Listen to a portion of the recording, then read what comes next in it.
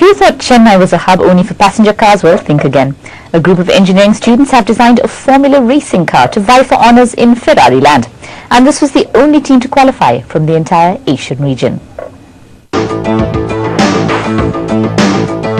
This is no imported Formula racing car. It's a 280 kilo single-seater racing model designed and built by four engineering students in Chennai.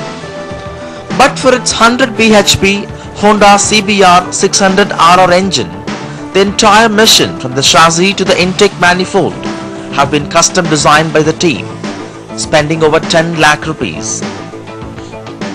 The attempt is to race in Ferrari's engineering competition in Italy and this is reportedly the only entry to qualify in the whole of Asia.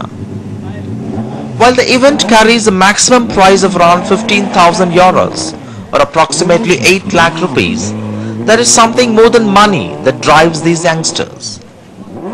I have had a desire of being a Formula One engineer always. You know, having being at the Ferrari's own test track gives me a chance of being selected for it.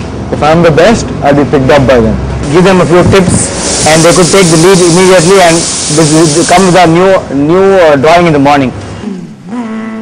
The car will be put to its ultimate test for its endurance, acceleration, fuel economy and its performance on the skid pad. While the designers were happy with its maiden performance, the model is all set to be airlifted to Ferrari land. It's a big gamble for this young Chennai team, but they believe it means a lot to the development of motorsport in the country.